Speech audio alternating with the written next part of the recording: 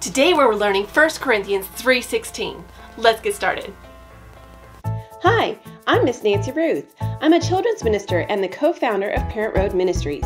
We want to see kids living for Jesus. In this series, we're learning memory verses, key passages, and the books of the Bible. Links to the full playlist and related resources are in the description below. Let's get started.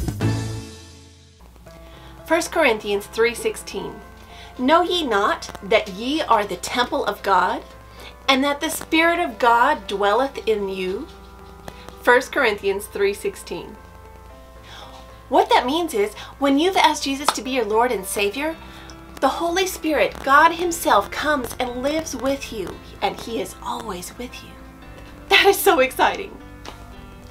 1 Corinthians 3:16. Know ye not that ye are the temple of God, and that the Spirit of God dwelleth in you? 1 Corinthians 3.16 We will now have the completion call. I will give you a portion of a verse of Scripture. If you know the entire verse and reference, step forward. Then I'll ask you to give the verse and the reference, and we'll do that together as a practice. Attention! Know ye not? Start.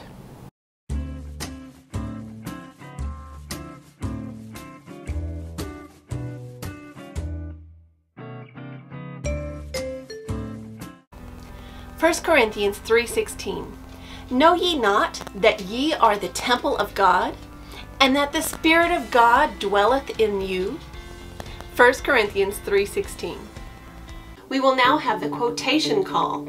I will give the reference of a verse. If you know the verse, step forward. Then give the verse and the reference, and we'll do that together as a practice. Attention! 1 Corinthians 3:16. Start.